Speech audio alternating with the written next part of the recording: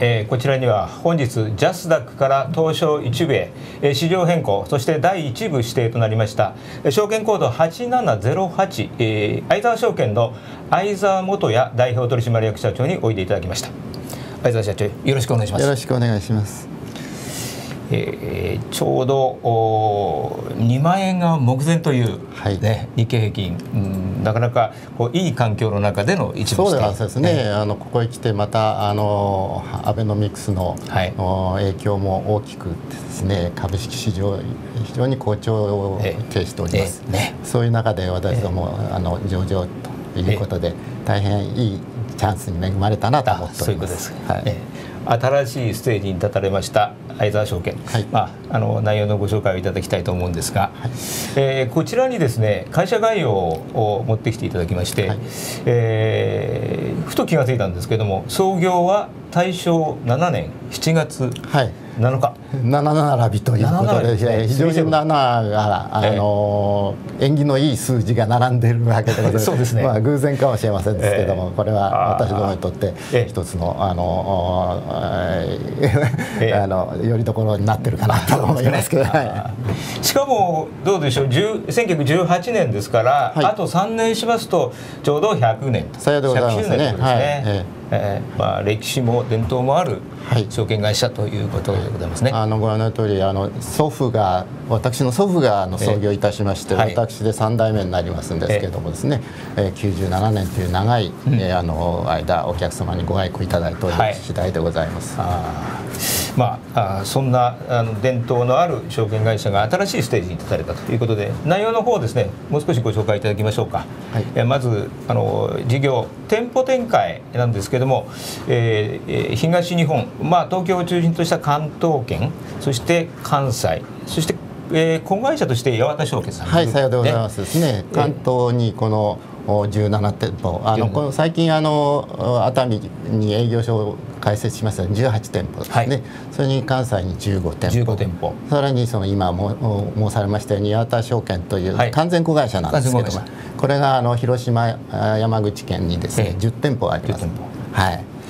えー、それで揃ってどうでしょうか店舗の特徴としては比較的規模が小さくて少人数低コストでオペレーションなさってると。はいあのお客様に密着して仕事出ますか、うん、あの投資をしていただけるような店舗展開を考えております、関係上あのあまり大きくなくてですね小さくてお客様とあの親しく接触できるあそういうことですね、はい、またあの私どものお店の特徴といたしましてはですねあのインターネットもここから、はい、あの取引できるように、はい、お客様のですねインターネットのあのネット取引を行えるようにですね、あ。の営業員の人間がですね、ええ、お客様インターネットそれほどでない方にもですねあのあのお手伝いしてはいそういうことですね、そういう方にあのお手伝いして営業の方にアドバイスして、はい、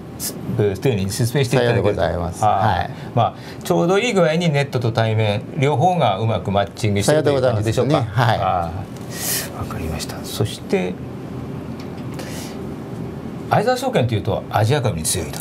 いうのが売りだと思うんですが。はい私どもではあのこのアジア株取引は2000年から始めております、はい。はい、15年ぐらいのあの歴史があるわけですけれども、はい、特にあの特徴といたしましてはあのご覧の通りですねあのアジアの12の市場口頭取引ができるという形をとっておりましてまたあのその取引のですねあの方式もこう直結方式を直結方式で。もう本当に1秒間でですねお客様に日本株を注文するのと同じような形であのアジア株が取引できるという具合になっております。12の市場っていうのはですねあの証券会社の中で私どもが一番多いあの取引市場数でございます、はい、ちょっとご紹介しましょうか。韓国、はい、台湾シンガポールマレーシアインドネシアタイ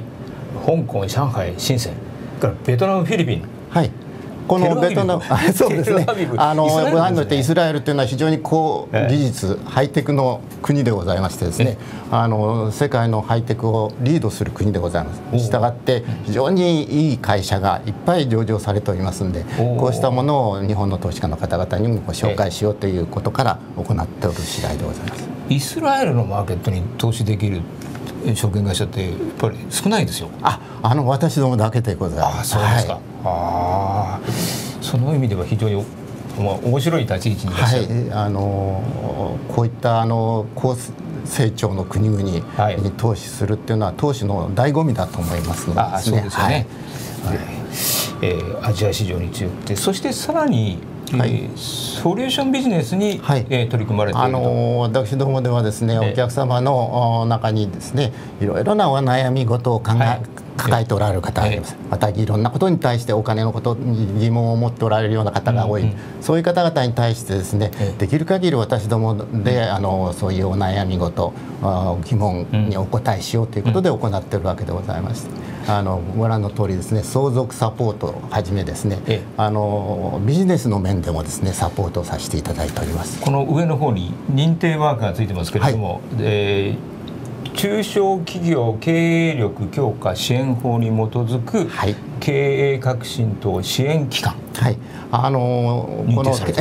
経営革新等支援機関に認定されておりますのはですね、あの証券会社の中では私どもだけでございまして、はい、あのビジネスを行っていく上でですね、はい、中小企業の皆様方にとってみるといろんなあのに、えー、まあ、例えばあの、えー、そうですね補助金を得たいであるとかですね。そすね、えー、それからあのビジネスマッチングをしたいだとか、そういうようなことに関しまして私ども経営革新等支援機関としてのですね、えー、あの知見を利用しましてですね、お客様のあのニーズに応えていくということをしております。まあ、証券会社さんのその法人向け中小企業向けのこのサポート業務というのはやっぱり金融の面資金の面とかが一番多いですね、はい、一般的にはね。それはあると思いますですね。ねはい、それはさらにもう一回り大きくして、はい、MA だとかビジネスマッチングとかに、はい、そういった面もはい、よりあのコーポレートファイナンスの面にも、あのお手伝いさせていただいております。あそうですか、はい、そして投資家向けのごく普通の投資家向けの、はい、サービスということで、えー、投資一人運用サービス。はい。これは私どものあの投資チャンネルの一つとして、はい、あの私どもでは掲げておるわけでございましてですねいわゆるあのお客様の中にはですね非常に忙しくてですねとっても自分一人で運用できない。というようなお客様もいるかと思います。そういう方々に向けにですね私ども専門家がですね、はい、専門のあのファンドマネージャーを置きまして、それがお客様の資産をお預かりして運用するという、一人勘定運用サービスです。私どものその特徴はですね、ええ、あの運用商品が株式に限定しております。株式の専門家としてのですね GIF からこうした運用サービスを行っているわけです。あのラップ講座っていうと、はい、ファンドラップがそうでございますね、まあ、あのね、皆さん方、ほとんどがあの、ファンドラップでございますけど、私どもは株式を運用するという形で行っております。やっぱり証券会社らしくていいですよね。まあ、ね、あの株のプロとしてですね、はい、これをお客様のサービスにつなげておるというあそうですか。でなおかつここにもありますけれども最低契約金額が500万円からいい、はい、あの500万円ということからですね、あのどなた様でもあの比較的簡単に、はい、あのこのサービスを受けられるというこということですね、はい、まあまあ、500万円程度でしたらあの普通の投資家の方でも結構ですね、はい、そうですね、えー、あの運用効果を上げるためにはやはり分散投資が必要でございます、はい、そのためにはやはり500万ぐらいというのは最低限の金額と考えていただくとありがたいと思います。はいまたさらに言えばあの自分のうこう売買運用のこう参考としてそういうのを持つそういうお客様もおられます、ね、はい、あの、えー、専門家はどんな運用するんだということを勉強したいということからですね、えーえー、私どもにご注文いただいているケースもございます。投資力向上のために。はいさようでございます、えー、ここに今グラフがありますけれども最近すごいですね。はい、えっ、ー、と折れ線グラフがあ件数。はいさようでございます。ブルーの棒グラフが残高でございますます、はい、え。ー、ここへ来ましてですね、えー、非常にあの株式市場の活況も、えー、ありますけれども、えー、このラップ講座というものが認知されてきた証拠だなと思っております。あそうですか。まあ投資の形態もいろいろいろいろ広がってきているということでしょうかね。おっしゃる通りでございますね。そして最後にですね業績の方のお話もちょっと伺っておきたいなと思います。このちょっと表がありますけれども、おまあ、えー、四半期ベースで見ますと前年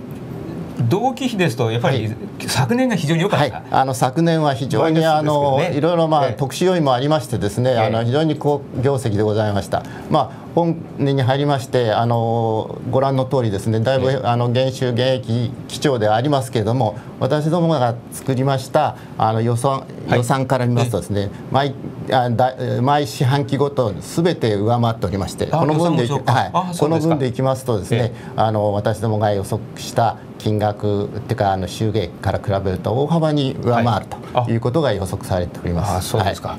えー、四半期ごとの数字が左側のグラフに、はい、ありますね。はい、でし、まあ、前年同期ですとマイナスですけれども、はい、し前期比で見ていきますと着実に収益が積み上がっている、はい、もうあのそんなことですね。あの私どもで考えておりますのはですねこのままでいきますと前期に比べても10%やそこらのですねあの減収減益であのあ減収であのが確保でき確保できそうだと思っております。はい、わかりました。まあマーケットの環境もだいぶ良くなってきましたのでですね、はい、さらに一段のこう収益向上が期待されます。はい。えー、最後にですね、はい、あの番組見ていただいてます、えー、投資家の皆さんにメッセージを一つお願いいたします。はい、あのご案内の通りあの我が国ではですね、えー、ガバナンスコードの強化が図られております。はい、それに伴いましてあの発行会社さんのですね、えー、あの経営態度もですね、はい投資家を向いた株主を向いた経営を、はい、株主配分を広げるという形を行っておられます、うん、えー、そうしたものというのは本当にの株式投資にとっては本当にあるべき姿で、うん、我々の専門家がですねそうしたことで投資家の皆様方に十分あの、えーいろいろなサービス、を応援する専門家としてのですねあの知見をあの十分にご利用いただける時代が来たと思います。ぜひあのこうした時期にですね株式投資というものにもう一度皆様方のあの投資を向けていただくということをお願いしたいなと思っております。わかりました。はい。まあ新しい時代がやってきたという、ね、そういうことですね。はい。はい、えー、こちらでは相沢証券の相沢社長においでいただきました。どうもありがとうございました。はい、ありがとうございました。